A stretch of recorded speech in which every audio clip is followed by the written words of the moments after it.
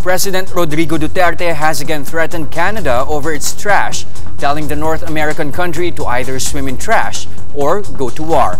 Gemma Vansenya with the story. At the opening ceremony of the Palarong Pambansa in Davao City yesterday, President Duterte again warned Canada about its trash. Duterte said Canada must get back its trash soon or he will turn Canadian beaches into dump sites. Sabihin mo sa kanila, ikarga ko yan next week. Hindi inyo tinanggap yung basura ninyo, ibubuhos ko yan doon sa magandang beach ninyo.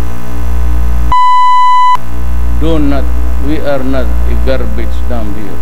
The Filipinos are not scavengers. And you do that to us as I am uh, I as I am want to do ganon ako nagbababoy talaga ako ng tao The president again threatened war on Canada over the 103 containers of trash imported as misdeclared recyclable scrap plastic six years ago. But Malacanang clarified that the president was only expressing his anger and that the threat was not an actionable plan. The president reminded athletes to avoid illegal drugs and help fight corruption.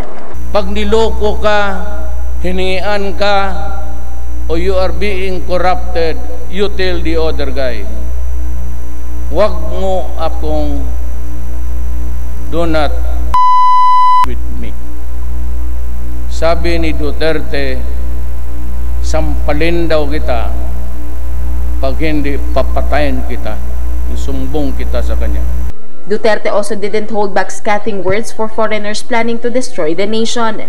to the foreigners, I would say to them, do not destroy the Philippines and do not destroy the youth of my land.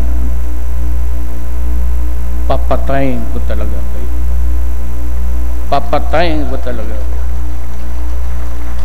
Magustuhan mo man yan ang sinabi ko, hindi. Hindi ako nagbibiro. Talagang hihiritan ko kayo.